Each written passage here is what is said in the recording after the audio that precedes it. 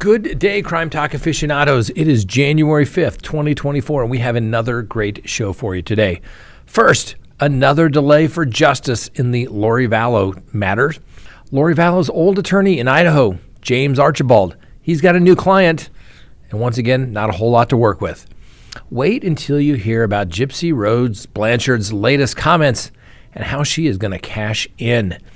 Best defense in a homicide case is the dead guy deserved killing. Let me give you an example. And then we have an update from our dumb criminal yesterday and then our dumb criminal of the day. Rule of thumb never blame the girlfriend. Let's talk about it. Hi, lawyer. Lawyer. Lawyer. Good day, everyone. My name is Scott Reisch, and this is Crime Talk. Thanks for joining us. You know the drill. Subscribe if you haven't, like if you do, leave me a comment below. Make sure you hit that little bell because you need to get notifications when we go live or put up new content because we were in YouTube jail and they seem to deactivate the little bell. So please hit it. All right, let's go ahead and uh, open the record and get to the first thing on the docket. Yes, justice delayed in the Lori Vallow matter. You may say, Scott, but she's been convicted. She's doing three life sentences out of Idaho. No, I'm talking about Arizona. As you may recall, she was set to start trial in early April of this year. Well, the prosecutor filed a motion uh, last week asking for the case to be declared complex and therefore basically takes it out of the normal speedy trial uh, requirements that the case be uh, tried uh, within the six month period. So the Arizona judge has deemed the case against Lori Vallow complex and that allows prosecutors and the defense attorneys more time to figure out what they're going to do.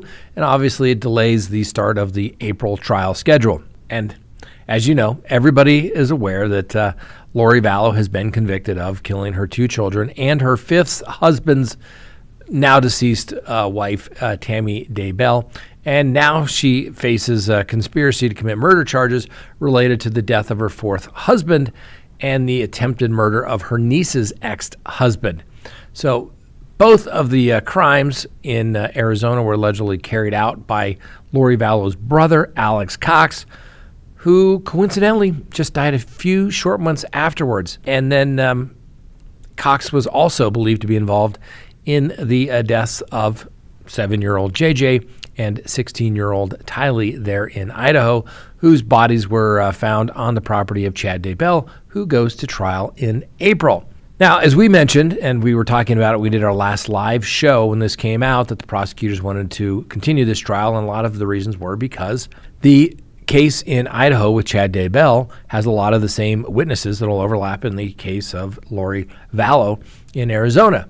And obviously, the uh, family of both wanted to be able to attend both trials, and they shouldn't have to choose. More than likely, that case wasn't going to go to trial. If Lori Vallow had, you know, really jumped up and down, maybe she could have uh, kept that trial date. Probably be the only chance she would really have in trying to prevail. So, according to the scheduling order, and you can always tell by the scheduling orders which judge was a criminal lawyer or a prosecutor before they came to the bench or a civil attorney.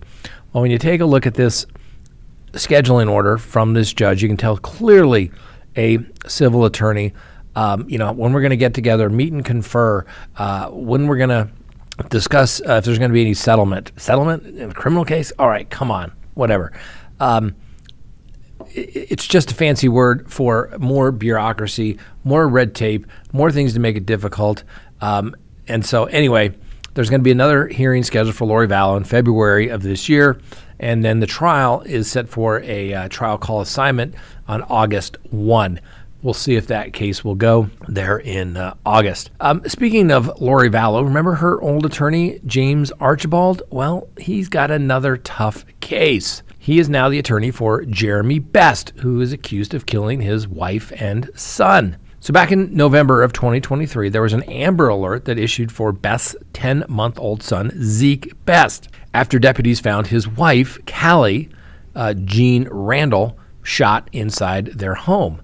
Now, Callie Jean Randall was reportedly also 28 weeks pregnant at the time, and her unborn baby died as a result. Jeremy Best then allegedly kidnapped his son after killing his wife. Days later, after a manhunt, police found him in a sleeping bag alongside the road near Idaho Falls. Zeke Best, the 10 month old son, was found deceased near his father's car, which was located down an embankment. An autopsy report indicated that uh, the young um, boy uh, died from a wound to the neck. And like I said, who seems like the best guy to represent him? James Archibald. That's right, who represented Lori Vallow. He is now his attorney. Well, Mr. Best pled not guilty to three counts of first degree murder and the use of a firearm or deadly weapon during the commission of a crime. And um, this was after he was found fit or competent to stand trial. Now, it's unclear whether the prosecutors are going to seek the death penalty in the case of Mr. Best, but I think some could argue you go around killing women and children, you're certainly putting yourself in the uh, running uh, for a candidate for the death penalty. We'll continue to follow that and uh, just out of curiosity, see if uh, Mr. Archibald maybe shows a little more fire in the belly than he did in the Lori Vallow case. Next, Gypsy Rose Blanchard. Hey, you guys want it? We'll bring it to you, all right? And wait till you hear her most recent statement on her interview on Good Morning America and how she stands to cash in. That's right. As you know, Gypsy Rose Blanchard went from serving her 10 year sentence for second degree murder of her admittedly abusive mother to serving fans after a life in prison. Since her short time of release, which is the day after Christmas, she has now amassed more than 10 million followers on TikTok, Twitter, and Instagram. Now, the Gypsy Rose, who is uh, 32, became a star thanks to the 2017 documentary called Mommy Dead and Dearest. And uh, she is trying to reinvent herself as a social media influencer, telling people that she wants to create change with her new platform. She has a book that is going to be released. And it's called Release Conversations on the Eve of Freedom. That comes out January 9th. And of course, don't forget that three part lifetime special, The Prison Confessions of Gypsy Rose Blanchard, which premiered Friday. Um, she's also gained 1.2 million followers on TikTok by Saturday with a bio describing herself as a public figure and speaker, author, and an advocate for awareness of Munchausen by proxy. Now, obviously, the Munchausen by proxy syndrome is the psychological disorder in which the parents exaggerate or make up an illness of the children to get attention or sympathy. And I went and looked it up and wanted to find out how many cases, how much awareness must be brought to Munchausen by proxy.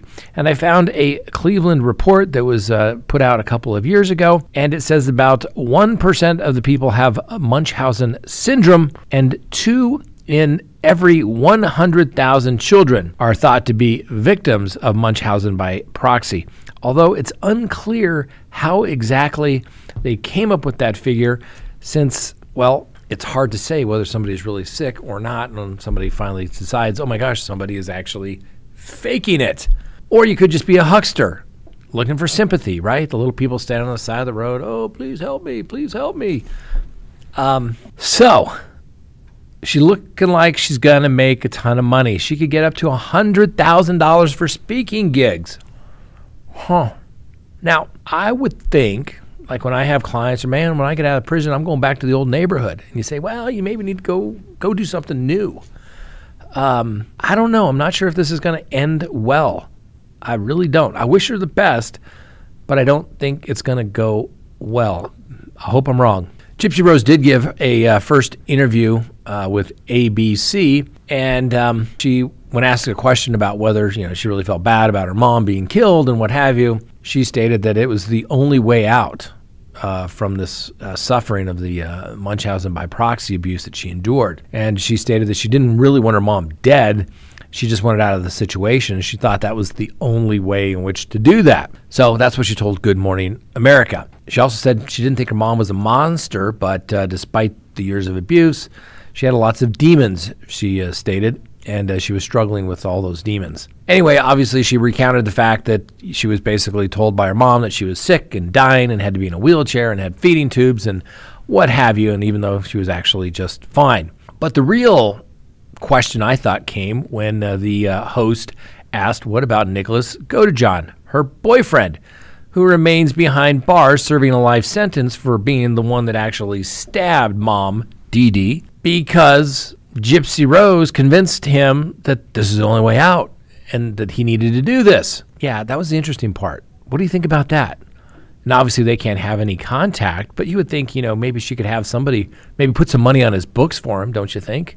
Try to help the guy out. I mean, she he did kill her mother. Well, like I said, when she was asked whether she thought it was fair uh, that uh, she was allowed to now be out and Nicholas Godejohn remain incarcerated, well, Gypsy Rose responded pretty bluntly.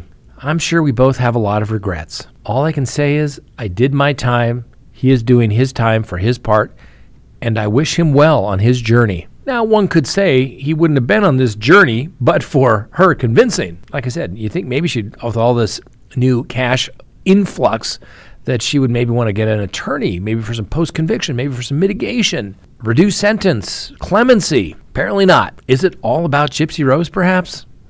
Well, we'll see. Like I said, she's got all of these movie projects going on, her book deal, and like I said, oh, don't forget the Lifetime special that starts today. And um, like I said, experts now say that she could earn up to $100,000 per social media post through endorsement deals, brand partnerships, and speaking engagements. Huh. I wonder which brands out there would like a uh, woman convicted of conspir- conspiring to kill their mother endorsing their products. Huh. Hmm. I don't know. Maybe crime talk? I don't know. I don't think so.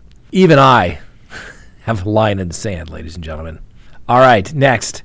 Any defense attorney will tell you when the law isn't on your side and there's somebody's dead, the best defense is the dead guy deserved killing. And let me give you an example. Some people are calling him a Texas vigilante, others are calling him a Texas hero. But he killed a robber in a Houston restaurant last year, and guess what? The citizens that were on the grand jury decided he's a hero, not a vigilante. Now, the shooter was said to be protecting everyone in the restaurant, and he struck uh, Eric Eugene Washington um, nine times with uh, one bullet hitting him kind of execution style in the head. But why did Mr. Washington get shot by this man? Well, he had entered the El Rancho Taqueria on January 5th while he was uh, flashing what appeared to be a firearm. Now, turned out later to be plastic, but hey, you do stupid things, you find out, right? Anyway, uh, the customer then shot Mr. Washington as he attempted to flee the scene, and it was all caught on video footage. Like I said, the Texas grand jury returned a no bill indictment against the shooter, meaning that no criminal charges will be filed against him. And the district attorney, they're okay with that. Because in Texas, a shooting is justified in self defense, defense of others, and in defense of property. A lot of states don't have that property part. So, needless to say, the man was in fear for his life and his friend's life, and um, the man acted to protect everyone in the restaurant. Now, apparently, the event has been somewhat traumatic to the man because obviously taking another's life shouldn't be taken lightly, but he did it. Now, there were also about 10 customers in the restaurant when Mr. Washington entered wearing the black ski mask and gloves and started to rob all of the diners. Many scattered and gave up their possessions in fear that Mr. Washington, like I said, who was in there with a firearm or thought to be a firearm, was threatening people. And of course, you know, when you rob people, you run the risk of getting shot when people think you have a gun. But of course, now the deceased individual's mother, Miss Goodman, said that the shooter should have stopped firing as soon as there was no longer a threat. His mom says, If you had to kill him, I can deal with that. I can do grips with that. He did something wrong. I understand that. But for him to you know, be shot four times in the back, leaving, and when he falls down, he shoots him four more times. He abused him. Yeah, and he and he did him good. He did him good. Let's just put him that way. Anyway, Mr. Washington already had a lengthy rap sheet, hence going on to the dead guy deserved killing. He was on bond for a recent domestic violence incident uh, where he attacked his girlfriend, and he previously just spent six years in prison for an aggravated robbery with a deadly weapon. Starting to notice a pattern here. And uh, court records also confirm that Mr. Washington was released on parole in 2021 for this aggravated robbery and deadly weapon for which he had served 15 years behind bars. Mr. Washington had been convicted back in 2015 in connection with the murder of a 52 year old man um, who was the owner of a Boost mobile cell phone store who was fatally shot in the back during a robbery.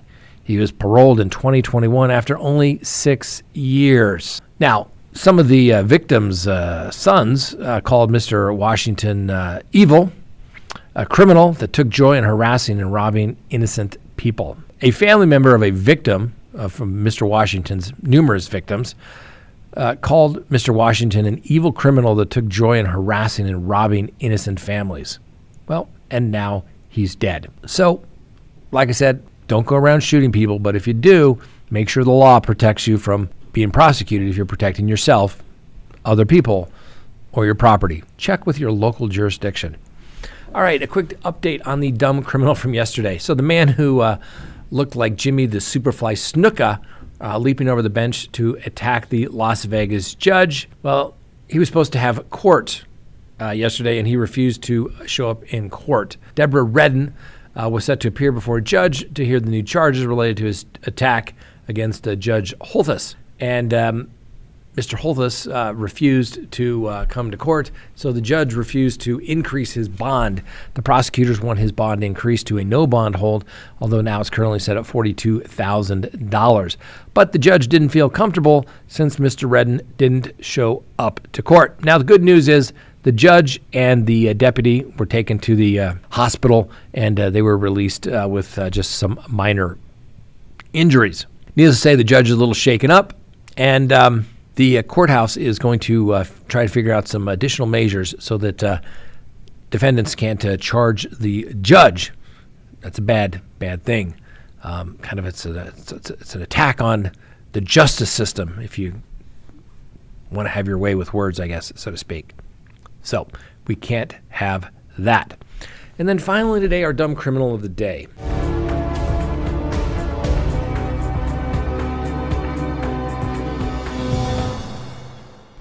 So everybody knows the TSA scans all your bags when you go to the through security, unless of course you fly, fly uh, private, where there is no TSA.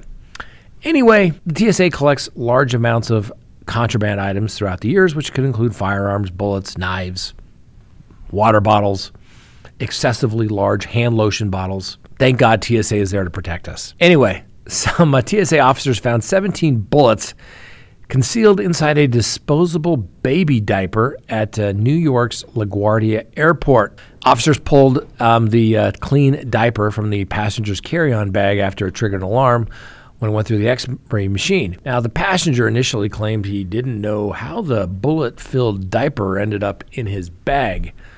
Later, though, he suggested his girlfriend may have put it there. Well, the TSA um, identified the passenger as a man from Arkansas um, who was ticketed uh, for a flight to Chicago's Midway Airport but did not disclose his name. The uh, Port Authority cited him for unlawful possession of 9 millimeter ammunition. Um, his girlfriend was not charged. So it could happen. Don't get me wrong. I, I got a story. Maybe I'll tell you one day. Sometimes you forget things, it happens. Anyway, in the diaper, I can maybe kind of see maybe the girlfriend is trying to set him up. Take these diapers, it's yours but no gun, maybe trying to get him in trouble. Maybe the girlfriend was trying to get rid of him. But here's the thing for this unidentified man from Arkansas to actually blame his girlfriend, oh my gosh, he should have just taken the rap, maybe even gone to jail or prison for that. Can you imagine the grief that this guy is going to get for the next entire life that he has with this woman because they have a child together? Oh, remember that one time you tried to blame me for the bullets in the diaper? I can hear it. It's never going to end. Anyway, unidentified man from Arkansas, you are a dumb criminal of the day. And do what I do. Make sure you clean out, you go through all the pockets before you go through TSA. You just never know. All right, that's all we have for you today. Thanks for watching. Have a wonderful day. We'll see you next time on Crime Talk. And remember, the Constitution matters.